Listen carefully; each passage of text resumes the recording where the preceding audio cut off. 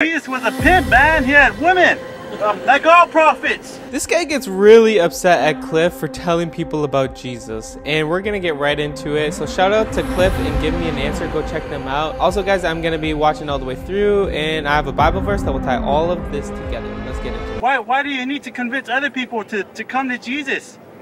Why? It's yours. It's your belief. No, no, no, no. What if I believe in something different?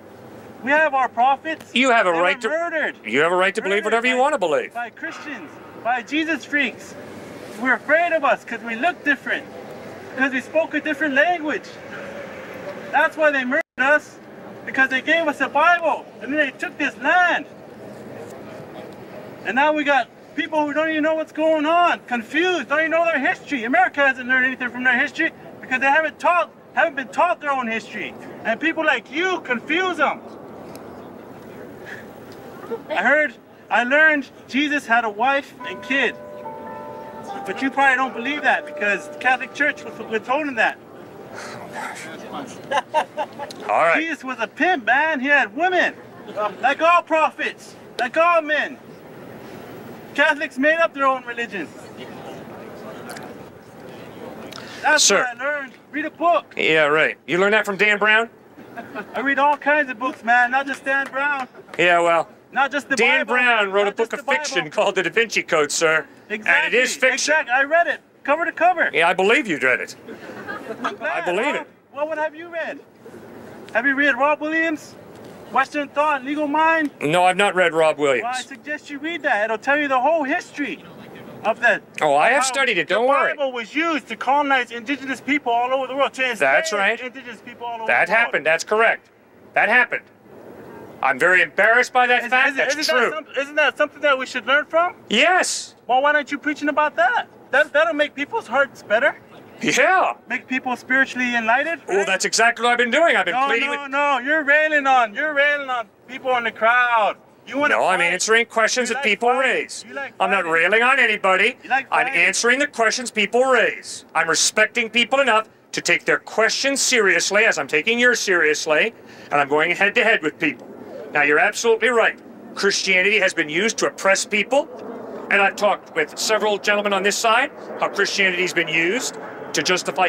Isn't that something And that's wrong. more important to learn from than just reading quotes from the Bible? Isn't that something that all Americans can learn from? That history, focusing on that. That's right. That's we have right. to learn from our mistakes as Christians, no question about it. And children should be taught the mistakes and they don't repeat it. again Absolutely again. correct. You bet. And I teach my three children that racism, exploitation of people in the name of Christianity is sin, it's evil. In Jesus' best known parable, the parable of the Good Samaritan, he makes a direct frontal attack on racism and tells how a Samaritan gets down and helps a Jew who's been beaten and bloodied and left to die on the side of the road. Racism is sinful, it's evil, to think that you're a follower of Christ if you go out and are racist is wrong. It's a contradiction. It's hypocrisy. That's right. And we should learn from that. That's what you should be preaching about. Because that's still a problem today. It sure is a problem today. You're absolutely right. Today. And Yes. people know it in their hearts. And they know in their hearts that it's wrong. That's right. That's human rights right there. That's human rights. Not some law, not some book. What you feel in your heart. Okay, sir. But you see, the problem is is done. we all have a worldview, and our behavior comes from our worldview.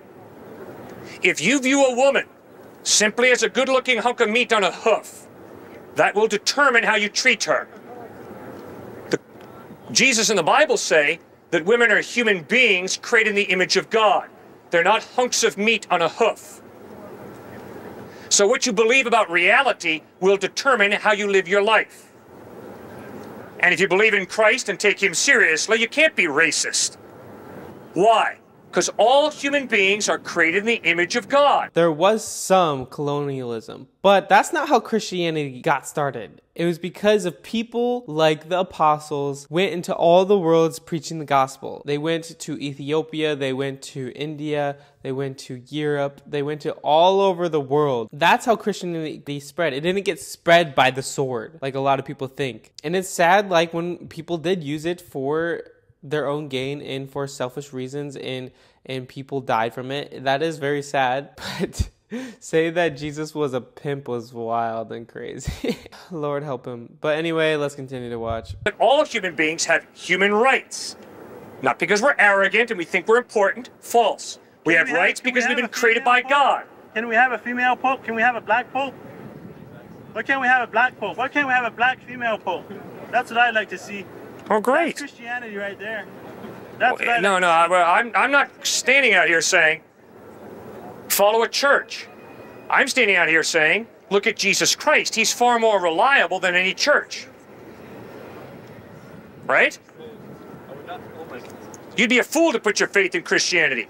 Christianity's been used to oppress your race. So you'd, you'd be a fool to put your faith in Christianity, wouldn't you? But Jesus Christ, he's different. No, Christianity has some good things to offer. Good, what were they? Just, just as long as the people don't get confused, you know, with all the, the hype. Yeah. Yeah, Just as long yeah, as people I think- read the I think- Gospels, I think you're stick hype. with Christ. I think you're hype, man. Well, if I'm all hype, what on earth are you doing wasting your time out here talking to me? Look at these cameras right here. Is that what a good person, a good Christian does? Yeah. You're- you're- you're- Yeah, people you're raising very name good issues. You've raised some good issues your yourself. you're- It's for yourself. That It is not. That That's incredibly you help people in judgmental. your You don't know what motivates me. Come on, Why don't sir. you help people in your community instead of coming out and preaching? How on earth do you know what I'm Look doing? these cameras. I can tell. Look at these cameras. You're all about yourself. I am not all about myself. Christian. I'm not asking for your money. I'm not asking you to You're join my asking for your group. attention. I'm saying look at Jesus Christ. We're gonna read about you in our in our in our on our school newspaper, and that makes you feel good. You like that? You're gonna show all your.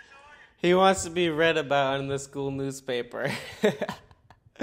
but yeah, this his videos really help so many people learn and understand how to answer these questions. He does such a valuable job. He's helped me so much in so many different ways to help answer difficult questions. I am thankful that Cliff does this.